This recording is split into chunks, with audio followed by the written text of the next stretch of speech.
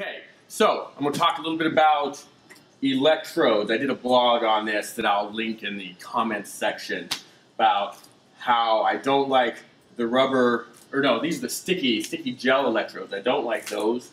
I do like the rubber carbon ones. I have this box, this box with many samples of electrodes that, that I don't use. I ordered many from China to see which I like. See, these are the socks. Those are actually, I'll do a special blog on those, the socks and the gloves. They're no joke. I'm just storing them in there, but they're things I'll use.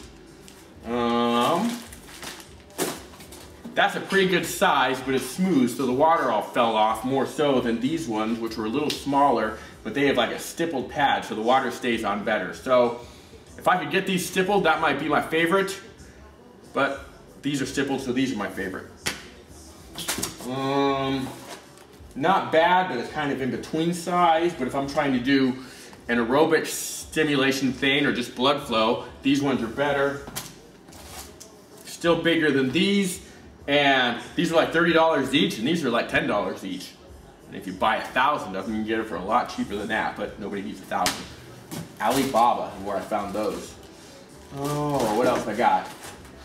These are like some spongy ones you have to wet, but that looks like a bacteria trap. All these I can wash with soap and water. Um, small rubber carbon. Um, I don't like little electrodes. Little electrodes hurt more. So, I don't know, I guess you can really focus the stim on one muscle with one of those, but I don't know, when I'm trying to stimulate muscles, I don't want to focus it. I want to hit, if I'm trying to get a small muscle, I'm still going to hit it with a big electrode. That way I can hit as much muscle as I can. And there are some people that try to target motor points with their electric stim and acupuncture points.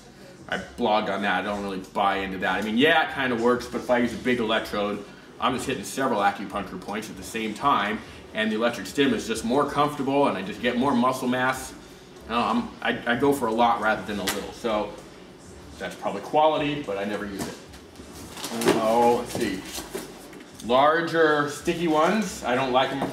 I mean, they're better than smaller sticky ones, but I don't use them because they're sticky and they get gross. And I'm hairy, I'm a hairy man.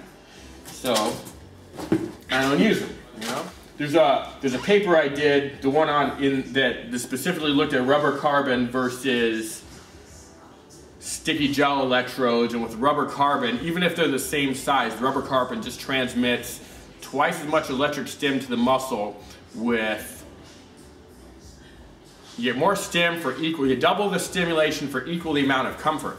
So you can just stim more to get more of a muscle contraction with less pain by using the rubber carbon electrode, and bigger makes it better still.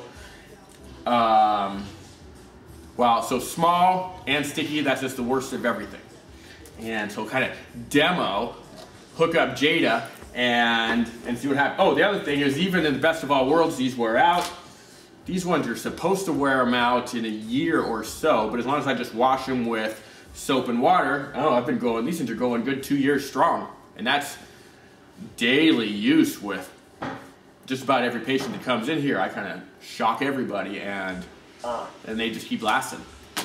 So, um, the the thing, the problem with the electrodes, these ones though, is they don't stick in place. So I had to have these straps made. So I had to, I had to special order these, which I'll be probably doing a web store that has them. But it's a wide enough strap that it covers the whole pad. So if you have a big thick pad and you have just a two inch strap, it just doesn't do a lot of good. And then if I need a longer one to go around someone's waist or someone's shoulder, I just stick them together. And they are plenty strong as far as the Velcro goes. I had to have stitching, diamond stitch to go around it, otherwise the Velcro just kept just pulling off the pads. But no buckles. Buckles turns out to stink, and I save money by not having buckles. And calves to start off with. So these ones are pre-done and they're brand new. So they should at least stick. So that's a brand new one. You can see it's already peeling off. I stuck a brand new pad on there, it's already peeling off. And so when you have this less connection, right there, so see right there, I stick it on there, she's not even hairy and it's already coming off. So I kind of, I'm of the opinion that these are just junk. Versus other leg. We're gonna stimulate her calves, which aren't my favorite muscles to stimulate in general. Already done. But it's good for demo purposes. spray it with a spray bottle. This is the most convenient, easy way.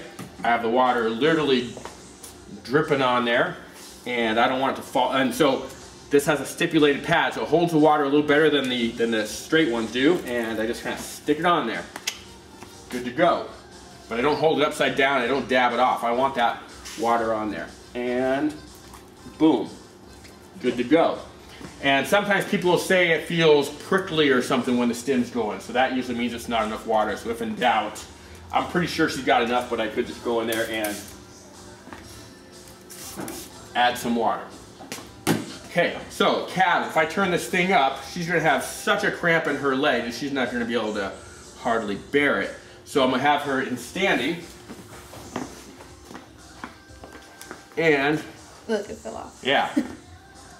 Brand new sticky, these are the ones that come free with all the machines. So every, every machine has a free sticky pads. Is, these are the EV906 ones, which is a pretty good stimulator, but the pads just stick. But almost, they need straps too. The Globus pads come with sticky ones that are a little better than this and a little bigger, but I don't use them either. I just use my carbons. So I want, these things are gonna stay put, and I know they are. Hmm.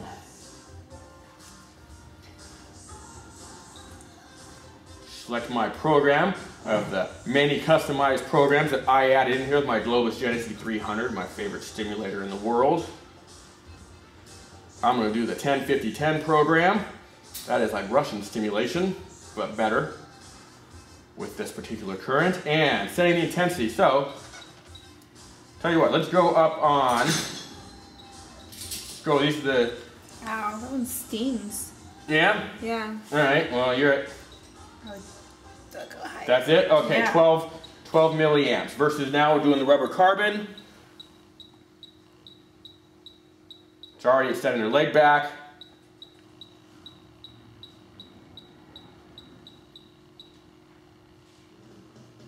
You can stop right there. Yeah, so she's getting, I'm at 46 milliamps right now. Okay, so she's just getting a lot more stim. So when, if I'm trying to, like on this program, this program is designed to strengthen muscle. 10 seconds on, 50 seconds off, gives you plenty of time to rest between contractions so that it contracts hard again. It also works pretty well for pain, surprisingly well for pain. And I'm able to deliver, what did I say, 46 milliamps? Mm-hmm. 46 milliamps for this leg. And this one got stopped off at I think 13. So we got triple the amount of stim. So if I was trying to increase muscle mass, I'm getting more muscle and strengthening with the, with the rubber carbon electrodes than I am with the sticky electrodes. Okay, um, but if I'm also trying to get a lot of electric stim in there to try to just decrease pain with like a TENS pattern or something like that, the same thing. TENS is supposed to work on a dose-response relationship. You're trying to um, exploit what's called gate control theory, G-A-T-E, Google that. Gate control theory to decrease pain. And I'm just getting a lot less stimulation with these just because they start hurting too much. Versus with those, you just get a lot more sensation in a comfortable way. Are we Yeah, right? Doesn't feel like it's electrocuting me. And we'll try to, yeah, doesn't Ow. like, doesn't like that one, while blue, Ah, yeah, but it's more of a, ugh, it's a lot of contraction. So we're at 51 on the blue, 13 or 14 on the orange.